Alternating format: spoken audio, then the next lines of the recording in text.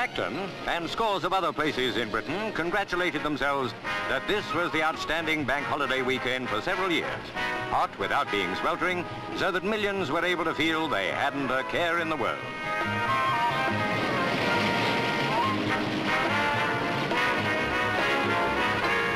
There was just one thing casting a slight cloud over Clacton, the possibility that the mods and rockers might once again descend on the town. Any who did sensed that the police would be more than ready for them. Clacton had no intention of being a battleground again.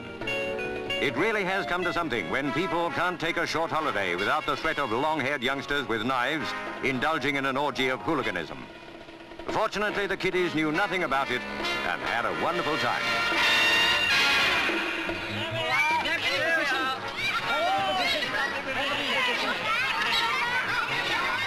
Of course, there always was more than a hint of violence in Punch and Judy, but nobody ever got hurt.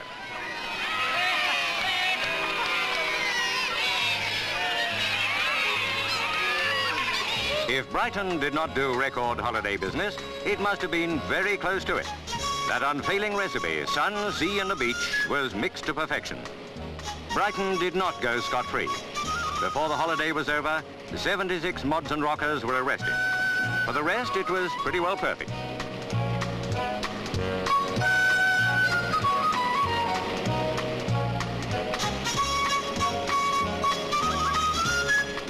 The seaside place that dominated the headlines this time was Margate. Rumor of invasion by undesirables was borne out. There they were on the beach, waiting apparently for somebody to start something. That suited the police. They said that the would-be troublemakers were well under observation so long as they stayed there. Reinforcements to the ranks of law and order seemed more than enough to cope with anything that might happen. On the whole, they were, though they could not completely prevent it.